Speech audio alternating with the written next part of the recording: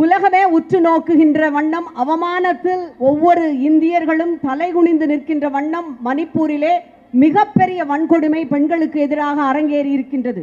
ஆனால் அந்த வன்கொடுமைகளுக்கெல்லாம் மணிமகுடம் வைத்தார் போல கிட்டத்தட்ட எண்பது நாட்களாக அங்கே ஆட்சி செய்கின்ற பாஜக அரசு அதற்கு பொறுப்பேற்றிருக்கின்ற ஒன்றிய பாஜக அரசு வாயே திறக்கவில்லை. நேற்றைய தினம் பாராளுமன்றத்தில் வெள்ளிக்கிழமை என்று நம்முடைய பாராளுமன்ற குழுவினுடைய தலைவர் அவர்களும் நம்முடைய மதிப்பிற்குரிய கவிஞர் அவர்களும் இது குறித்த கவன ஈர்ப்பு தீர்மானத்தை கொண்டு வந்து அவையிலே இதற்காக குரல் எழுப்பினோம். ஆனால் ஒன்றிய அரசாங்கம் செவிசாய்க்கவில்லை. வருத்தத்திற்கு துயரத்திற்கெல்லாம் மிகப்பெரிய துயரம் என்பது அந்த பெண்கள் அப்படி வன்புணர்வு செய்யப்பட்டு வீதியிலே இழுத்து வரப்பட்ட ஒன்று. இந்த உலகத்திற்கு கிட்டத்தட்ட இரண்டு மாதங்கள் கழித்துத்தான் தெரிந்திருக்கின்றது. அந்த அவலத்திற்கு பின்பாக அதே நாளிலே மேலும் இரண்டு பெண்கள் கார் வாஷிங் கம்பெனியிலே வேலை செய்த இரண்டு பெண்கள் அதே போல வன்புணர்வுக்கு ஆளாக்கப்பட்டு கொல்லப்பட்டிருக்கிறார்கள் என்ற செய்தி இன்றைய தினம் நமக்கு கிடைத்திருக்கின்றது.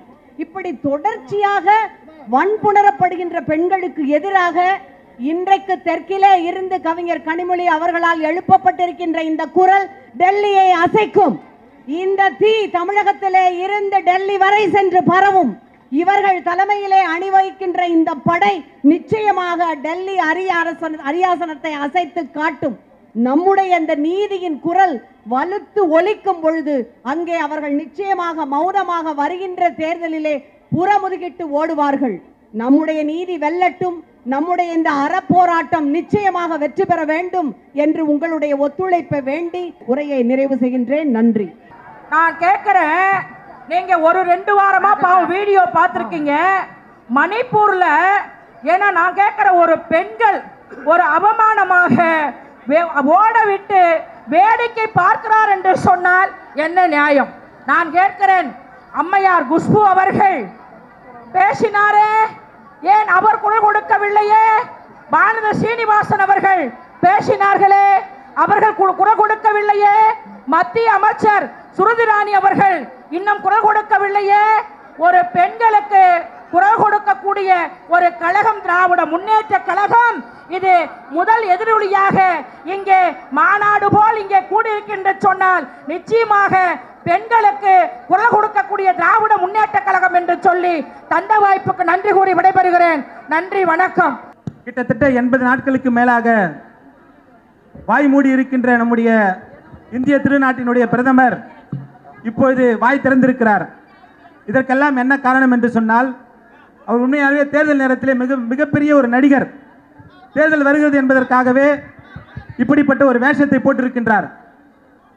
ஆரம்ப நாள் முதல் இன்று வரை நம்முடைய கழகத்தினுடைய தலைவர் அவர்கள் மணிப்பூரில் நடந்த கொடுமையை விளக்குகின்ற விதமாக பல்வேறு பிரச்சனைகளை எழுப்பிக் கொண்டிருக்கின்றார். ஆனால் இதை பற்றி சிறிதும் கூட கவலைப்படாமல் இந்த ஒன்றிய அரசு செய்தி சாய்க்காமல் இருந்தது.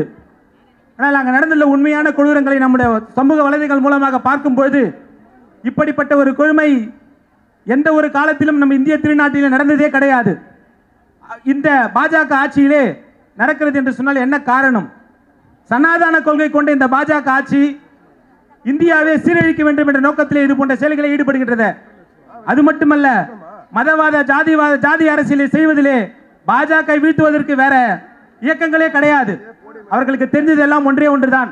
இந்த மதவாத அரசியல் மூலமாக எப்படி இந்தியாவை பிளவுபடுத்த வேண்டும் என்பது அவருடைய எண்ணமும் நோக்கமும் கூட. ஆனால் அதற்கெல்லாம் முத்தாய்ப்பாக மகளிருக்கு எவ்வாறு பாதுகாப்பாக நடத்தப்பட வேண்டும் என்பதற்கு ஒரு அரசுக்கு உதாரணம் என்று சொன்னால் நம்முடைய திராவிட மாடல் அரசினை நடத்தி கொண்டிருக்கின்ற நம்முடைய தமிழ்நாட்டினுடைய முதலமைச்சர் நம்முடைய கழகத்தினுடைய தலைவர் தளபதியார் அவர்கள்தான். இன்றைக்கு நடந்து கொண்டிருக்கின்ற இந்த ஆட்சி முழுக்க முழுக்க நம்முடைய மகளிருக்கான உருவாக்கப்பட்ட ஆட்சி. அதற்கு எத்தனையோ உதாரணங்கள் உண்டு. எல்லா திட்டங்கள் எடுத்து பார்த்தாலும் கூட நம்முடைய கழக தலைவர்கள் தொடர்ந்து அறிவித்திருக்கின்ற திட்டங்கள் அனைத்துமே நம்முடைய மகளிருக்காக தான் உருவாக்கப்பட்டிருக்கின்ற ஆட்சி. இன்றைக்கு இந்தியாவிலே மிகவும் மகளிர் பாதுகாப்பாக இருக்கின்ற மாநிலம் நம்முடைய தமிழ்நாடு தான். நீங்கள் எல்லோரும் அறிந்திருப்பீர்கள் இன்றைக்கு தமிழ்நாட்டிலே சிறந்த முதல்வர் நம்முடைய முதல்வர்.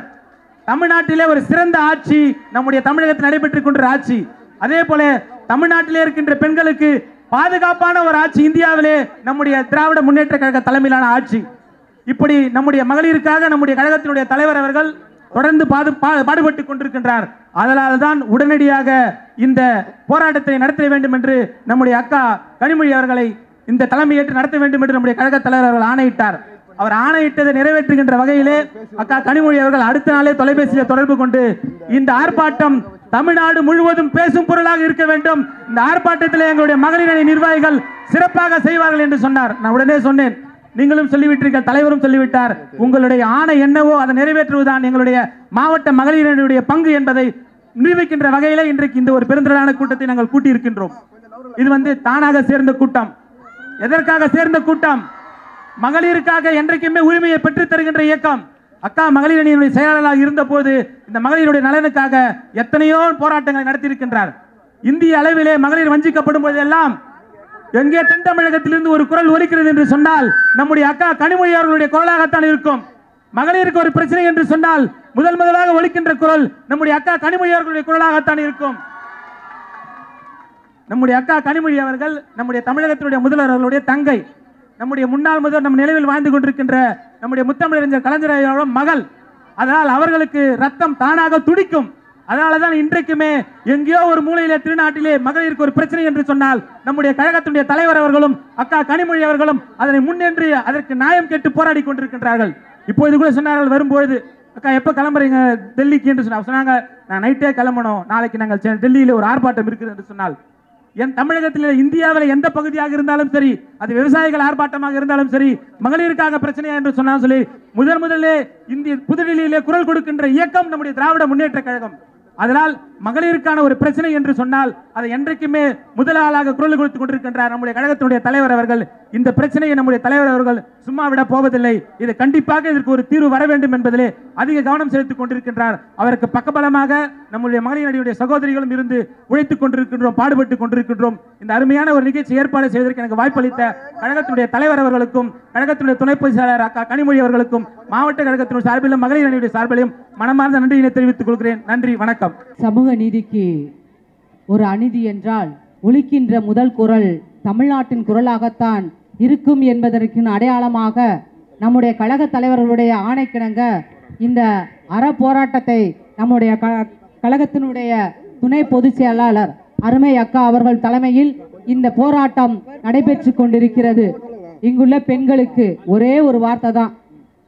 மணிப்பூர்ல மே மாதம் நடந்த இந்த போராட்டத்தை இந்த பிரச்சனையை அங்கே இருக்கின்ற பிஜேபி அரசனுடைய முதல்வரும் ஒன்றிய அரசினுடைய பிரதமரும் என்னவென்று அவர்கள் கணை க- கவனித்திருப்பார்கள் என்று சொன்னால் இந்த பிரச்சனை பெண்களுக்கு நடந்த இந்த அநீதி அன்றைக்கு நடந்திருக்காது.